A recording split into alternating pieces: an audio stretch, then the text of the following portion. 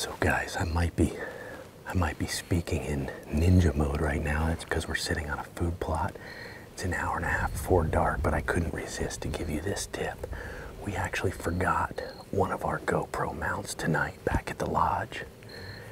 I always carry these little, they're like a huge twisty tie, like off a loaf of bread, but they're rubberized. You can buy them at Home Depot, Lowe's, I think even Walmart, whatever, but I always keep at least one, if not two of these in different sizes in my pack when I'm filming hunts because I have done all sorts of things with this.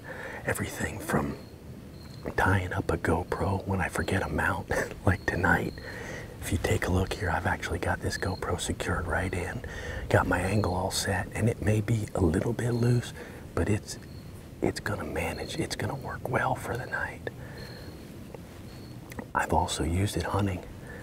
I've held my, my quiver up on a tree. I've held, you know, seats on stands that won't stay up. Here come deer right here. There's deer coming out right now. In the food plot, couple does right here.